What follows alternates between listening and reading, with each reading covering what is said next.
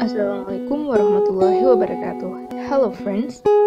In this video, we want to talk about Central Bank of Indonesia and the Indonesian economy amid an outbreak of COVID-19. By the way, I want to introduce myself first. My name is Cut Meviantira Nanda and I'm a college student of Economics and Business of Syiah Kuala University. Here we go. Nowadays, we face the global pandemic named COVID-19. COVID-19 is an infectious disease caused by SARS-CoV-2, a new type of coronavirus that was first detected in Wuhan in late December 2019. As a new pathogen, human body doesn't yet have immunity to the virus. So far, there is no vaccine or effective treatment for the virus. Due to the high transmission rate of this virus, countries around the world have taken steps that are quite extreme in order to limit transmission rate which aim to get a more gentle curve, such as looking in and out of state, or even call it by lockdown, and also social distancing. This aims to ease the pressure on the health service industry in each country. Therefore, recessionary pressure only comes from disruption on the supply side during the lockdown period. The risk can occur if the government leaves many companies bankrupt during the lockdown period. If the pandemic doesn't reach its peaks within the next six months, then the level of demand from the economy side, which is weakening and falling very quickly, can ultimately lead to critical economic condition. So now you can see the world economy shaken so violently. Indonesia is no exception rupiah exchange rates and stock indicates weakness. Domestic and industrial consumption is also criticized for it. The rapid spread of the coronavirus is able to shake the global stock market. Composite Stock Price Index or CSPI was unable to withstand the influence of the global stock market. After the first coronavirus case in Indonesia was confirmed in early March by the government, the CSPI immediately dropped. In order to support COVID-19 countermeasures undertaken by the government to mitigate the spread of COVID-19, Bank of Indonesia, together with relevant authorities and industries, are committed to maintaining the smoothness of payment system service and financial transactions to support various economic activities. Observing the condition of the Indonesian economy in particular as a result of the spread of COVID-19, Governor of Bank Indonesia, Perry Warjiyo, on Thursday, March 2020, referred five issues related to the latest developments and policies adopted by Bank Indonesia.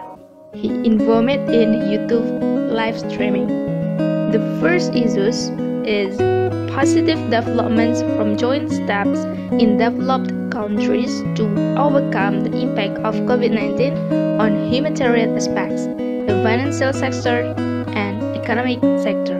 From the fiscal side, the US and German states have each approved the fiscal stimulus proposed by the government. From the monetary side, the Fed has lowered the policy rate to 0% added liquidity injections to the money market and bought securities.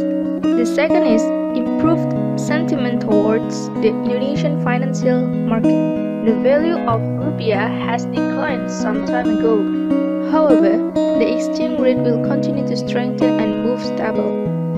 Third, Bank of Indonesia continues to take steps to strengthen monetary and financial market stability with the government and OJK. Some of them are relaxing provisions for foreign investors regarding hedging and net foreign exchange positions. Bank of Indonesia reiterates that global investors can use global and domestic custodian banks in conducting investment activities in Indonesia.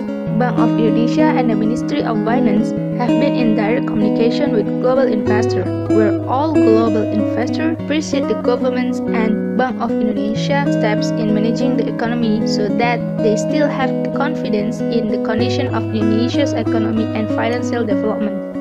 The fourth, Bank of Indonesia and related authorities are committed to maintaining the smoothness of payment system services and financial transactions to support various economic activity.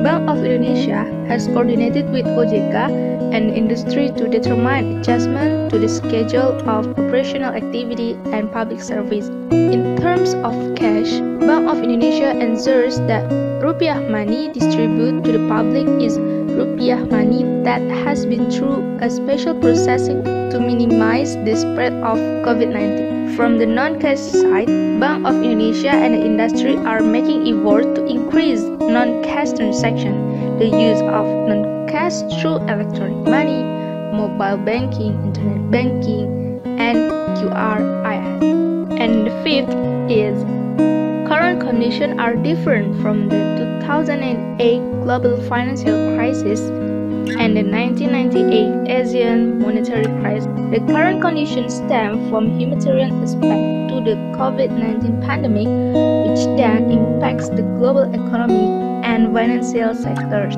The faster in overcoming the COVID-19 pandemic, the impact of the economy and financial sector will be minimized, and the current weakening of the rupiah is temporary due to global panic. Bank of Indonesia will continue to strengthen this coordination with the government and OJK to closely monitor the dynamic of the spread of COVID-19 and its impact on the Indonesia economy from time to time as well as further policy coordination steps that need to be taken to maintain macroeconomic and financial system stability and sustain growth. Indonesia's economy remains good and resilient. So that's all. I hope this video can help you to understand how the Central Bank of Indonesia and Indonesia economy amid an outbreak of COVID-19. Thank you and see you. Wassalamualaikum warahmatullahi wabarakatuh.